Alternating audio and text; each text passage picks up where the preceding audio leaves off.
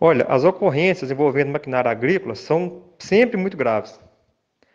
E para agravar mais a situação, essas ocorrências acontecem no meio rural, em local distante, de difícil acesso e de difícil comunicação. E muitas vezes a pessoa que está operando maquinário está até sozinha, ou talvez com mais um.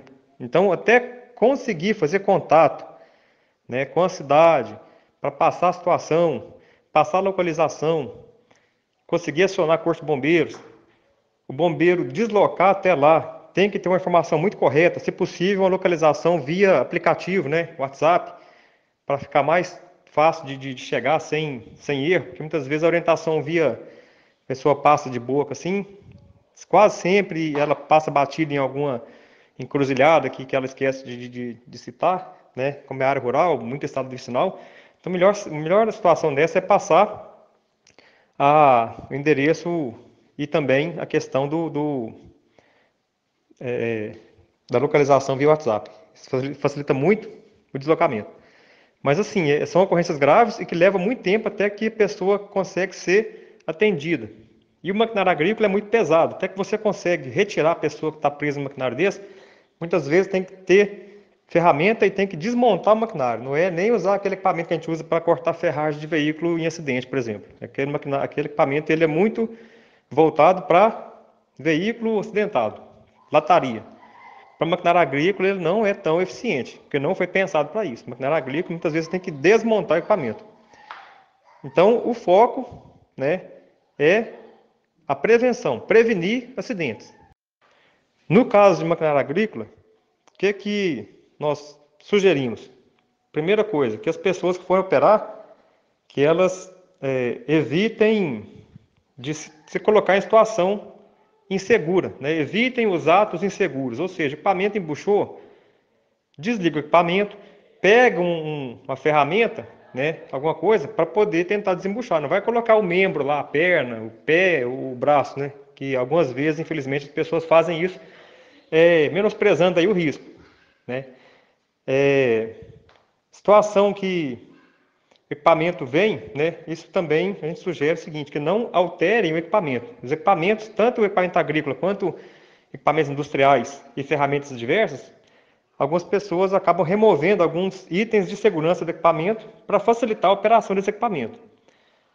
Entretanto, no caso de acidente, justamente esse item de segurança é que ia proteger a pessoa. A quebra de uma peça do equipamento, ou bateu em uma pedra, alguma coisa que vai jogar estilhaço na pessoa, aqueles itens de segurança, de proteção, eles eh, iriam dar essa proteção, mas como foram removidos, então a pessoa fica exposta, né? Então é importante usar equipamento de proteção individual, não alterar o equipamento, né, na sua originalidade e evitar atos inseguros. Isso, por si só, já evita a maioria dos acidentes, né? E sempre que possível, não trabalhar sozinho, porque no caso do acidente você tem uma pessoa que pode auxiliar ou pelo menos pedir o socorro. Uma dica importante é o que fazer na hora quando acontecer um acidente desse. Porque muitas vezes esses, esses, esses acidentes com máquina, agrícola acabam envolvendo membros, né?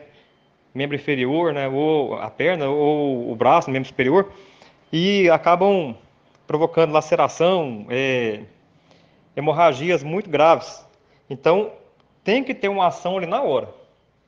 Né? Muitas vezes, quando, no caso de uma grande, de uma grande hemorragia, tratando-se de área rural, né, muitas vezes distante, que vai, o socorro vai demorar a chegar pela distância em si, pela dificuldade até de acionamento, então é muito importante que quem está ali dê o primeiro atendimento.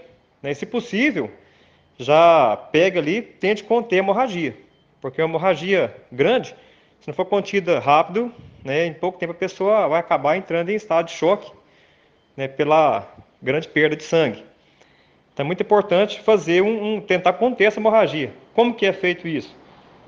Pega um pano limpo e faça pressão sobre o ferimento. Faça pressão sobre o ferimento com esse pano.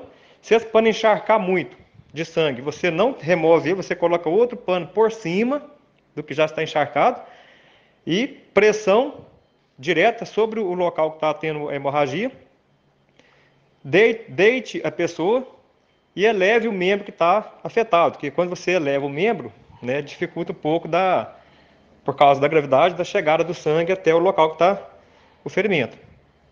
Né? E se for o caso, inicia até o transporte mesmo. Né? Quando há uma grande hemorragia, se der para iniciar o transporte, para interceptar o veículo do, do, bombeiro ou do SAMU que estiver indo dar o apoio, já diminui também o tempo né, até a chegada ao hospital. Né? Grandes hemorragias têm que ter um, um atendimento imediato.